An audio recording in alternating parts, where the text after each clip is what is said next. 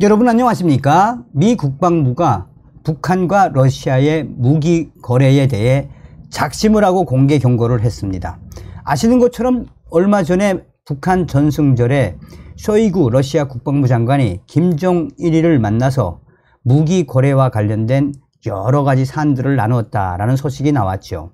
자, 미국의 이 소리방송 VOA가 왜 미 국방부가 이렇게 작심을 하고 북한과 러시아를 뒤집었는지 소상하게 밝히고 있습니다.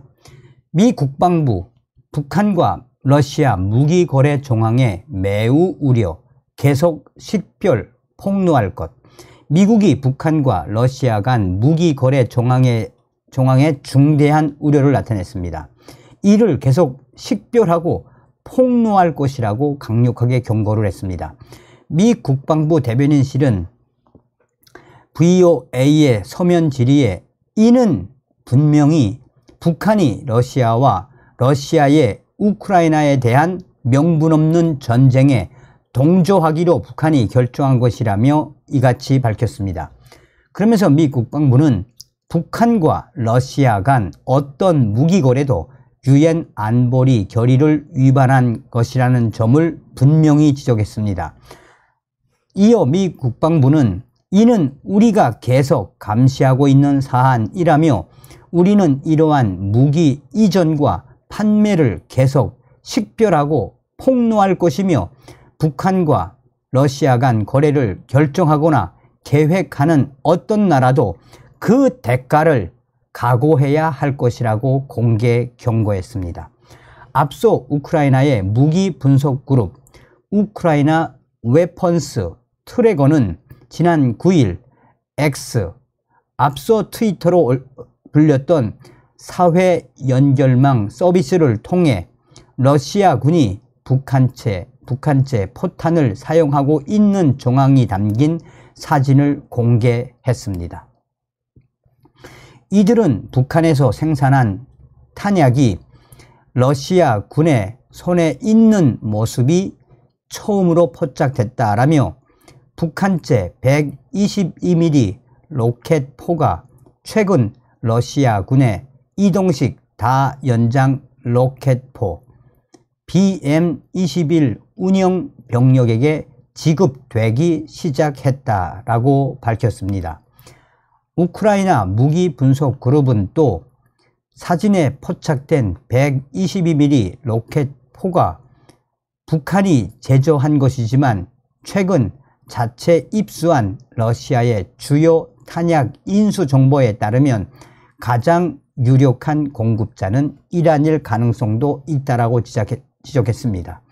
이란이 북한과의 무기 거래를 통해 북한제 122mm 로켓을 이미 보유하고 있었으며 최근 러시아에 제조된 러시아에 개조된 152mm 포탄을 제공한 것으로 알려진 만큼 가능성이 크다라고 강조했습니다. 그러면서 북한과 러시아, 이란 세 나라가 지속적으로 무기를 거래하고 있다라며 미국 정부는 북한과 이란이 러시아의 우크라이나 전쟁에 불법적으로 무기를 지원하고 있음을 여러 차례 지적하며 우려를 나타낸 바 있습니다. 앞서 전 커비 백악관 국가안보회의 전략소통 조정관은 브리핑에서 정보에 따르면 러시아는 북한이 러시아에 포병 탄약을 다시 판매하는 하는 것과 같은 북한과의 군사 협력 강화를 모색하고 있다라고 지적했었습니다.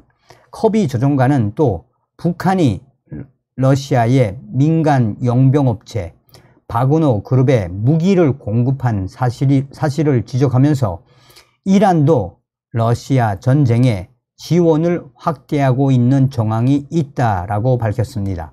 그러면서 이란은 지난해 11월 러시아에 우크라이나 전쟁을 지원할 목적으로 러시아에 각종 대포와 전차포를 보냈다라며 이 같은 군사 협력은 우크라이나뿐만 아니라 중동 지역의 안보에도 좋지 않은 영향을 미칠 것이라고 지적한 바 있습니다.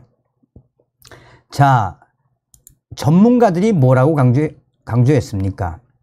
사실상 김정은이가 주장했던 국방 경제 언급에 러시아가 주요 고객, 포, 탄약 등 저급 무기 수출 가능. 자, 김정은이가 최근 국방 경제 사업을 언급한 것과 관련해 미국 전문가들은 러시아가 주요 고객이 될 수 있다라고 진단했습니다. 북한이 탄약 등 저급 무기를 러시아에 수출할 수 있다라고 강조한 겁니다. 미 해군 분석센터의 켄 고스 적성국 분석국장은 김정은이 국방 경제 사업 언급과 관련해 북한이 러시아에 포와 탄약을 개선, 계속 지원할 것이라고 전망했습니다. 러시아는 미사일을 비롯한 정교한 무기 역량은 충분히 갖추었지만 탄약과 포탄 등은 소진되고 있다라며 탄약과 포탄, 포 등을 북한으로부터 수, 이, 수, 이 북한으로부터 사들일 것이라고 예측했습니다.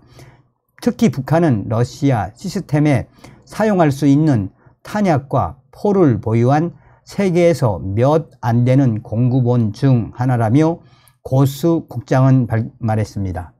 자, 북한의 조선중앙 통신은 초대형 대구경 방사포탄과 저격무기, 전략 순항 미사일 및 무인 공격 엔진, 또 미사일 발사대 차 생산 공장을 집중적으로 둘러보았다라고 강조하면서 여기서 북한이 강조했던 것은 바로 국방 경제를 강조한 거지요.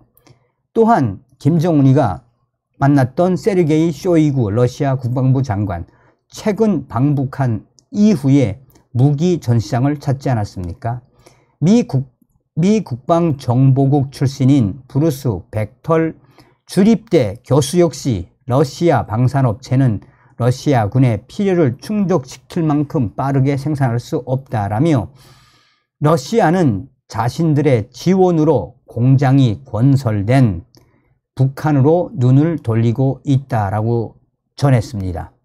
그러면서 북한이 러시아의 동맹으로 앞으로도 계속해서 무기, 포와 탄약, 탄약, 경화기 같은 저금 무기들을 계속해서 러시아로 수출할 것이다 라고 강조하고 있습니다.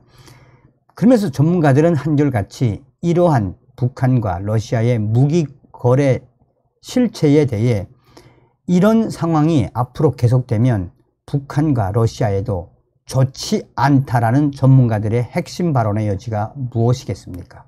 다음 시간에 뵙겠습니다. 멸공.